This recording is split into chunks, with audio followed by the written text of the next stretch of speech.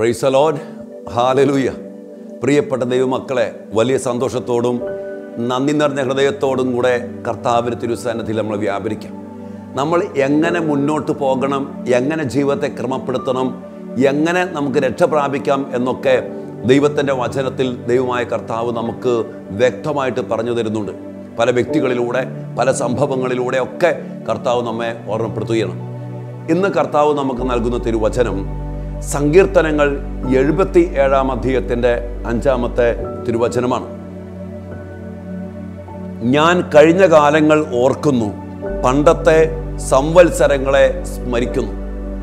ദാവിദിന്റെ ജീവിതത്തിൽ ദൈവം വഴി നടത്തുന്ന അനുഭവങ്ങളെക്കുറിച്ച് അദ്ദേഹം പറയുകയാണ്.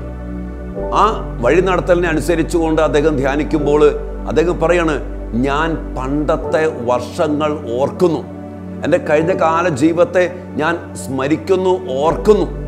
പ്രിയപ്പെട്ടവരെ നമ്മുടെ ജീവിതത്തിൽ മുന്നോട്ട് പോകാൻ വേണ്ട വലിയൊരു കാര്യമാണ് വല്ലപ്പോഴുമൊക്കെ ഇരുന്ന് കഴിഞ്ഞ കാലങ്ങളെ ഒന്ന് സ്മരിക്കുക ഓർക്കുക.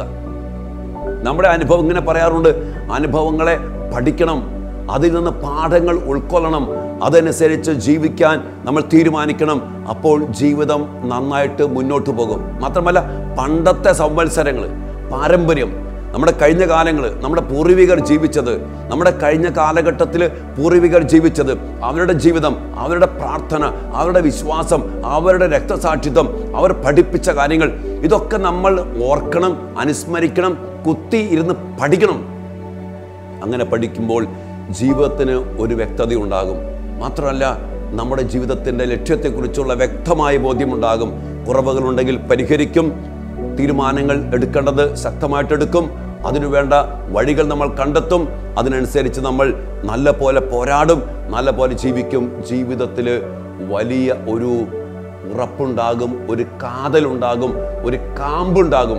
അതിനനുസരിച്ച് ജീവിക്കുമ്പോൾ പ്രിയപ്പെട്ടവരെ ഒന്നിനും നമ്മെ നശിപ്പിക്കാനോ ഒന്നിനും നമ്മെ തകർക്കാനോ ഒന്നിനും നമ്മെ കീഴടക്കാനോ കഴിയാത്ത വിധത്തിൽ നമ്മൾ കരുത്തുള്ളവരായിട്ട് മാറും. ഇതെല്ലാം തന്നെ നമ്മെ കർത്താവിങ്കിലേക്ക് അടുപ്പിക്കും. കർത്താവിന്റെ കരുണയിലേക്ക് തിരിക്കും. വീഴ്ചകളാണോ? കർത്താവ് ഞാൻ വീണു പോയിട്ടുണ്ട്. ഞാൻ പാപിയാണ്. ഇനി അനുഗ്രഹങ്ങളാണോ? ദൈവമേ സ്തോത്രം. ദൈവമേ നന്ദി. എല്ലാം നീ ചെയ്ത പ്രവൃത്തി. എല്ലാം നിന്റെ കാരുണ്യം. എല്ലാം നിന്റെ പരിപാലന. എല്ലാം അങ്ങയുടേത് മാത്രം. ദൈവത്തിന്റെ സ്വന്തമാണെന്ന് ഏറ്റു പറയുവാനും അതിനനുസരിച്ച് ദൈവത്തിന് സമർപ്പിക്കുവാനും ദൈവത്തോടെ ചേർന്ന് ജീവിക്കുവാനും ഈ ഓർക്കലും ഈ സ്മരിക്കലും നമ്മെ ബലപ്പെടുത്തും സഹായിക്കും. നമുക്ക് പ്രാർത്ഥിക്കാം. കർത്താവെ ഞങ്ങളുടെ കഴിഞ്ഞ കാലങ്ങളെ ഞങ്ങൾ ഓർക്കട്ടെ. പണ്ടത്തെ സംവത്സരങ്ങൾ ഞങ്ങൾ സ്മരിക്കട്ടെ. ജീവിതാനുഭവങ്ങളെ ഞങ്ങൾ പഠിക്കട്ടെ. ഉന്നതമായ പാഠങ്ങൾക്കനുസരിച്ച് ഉന്നതമായ ലക്ഷ്യത്തെ മുൻനിർത്തിക്കൊണ്ട് ഈ ലോക നൈമിഷികം ജീവിക്കുവാൻ ഞങ്ങൾക്കിടയാകട്ടെ.